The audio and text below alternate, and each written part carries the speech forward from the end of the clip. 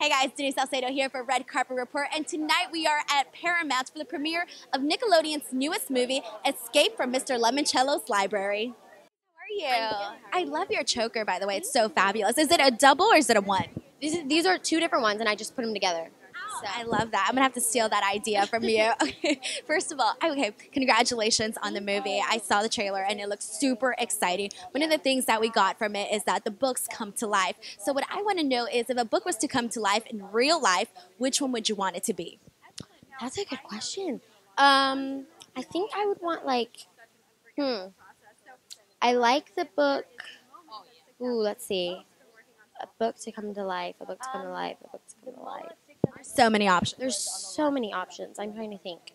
Um, ooh, okay. Uh, you, nobody probably knows this book, but it's called You Are Different, and I have it. It's like a kid's picture book, but it's about all these different kids that are like different, like skin color, personality, things like that, and they come together. And at the end of the book, they like hold hands, and it's so cute. It's so fun. I would definitely have that one come to life. I think that's a really good one to come to life, especially right now. Yeah. Oh yeah, for sure.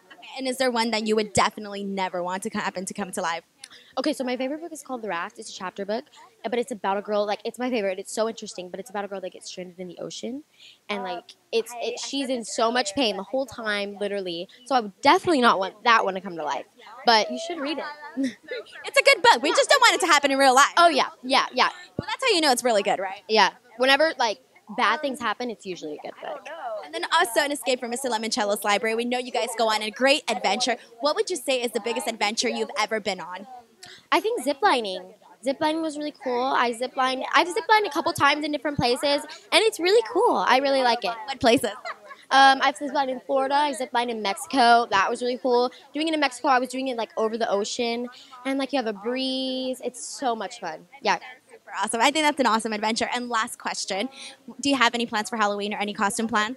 I, I don't, but I I love Halloween. My favorite part is like the costumes in the haunted houses. I love haunted houses because like the adrenaline.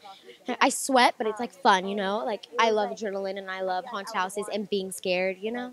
So do you like scary movies too, or just like scary adventures? Um, I like horror. I like like scary adventures. Everything scary. I like. I like those type of movies. So, yeah. Thank you so much for talking to us today. Take care. All right, guys, thank you so much for watching. Make sure to give this video a thumbs up, subscribe to our channel for more, and in the comments below, let us know what is your favorite book.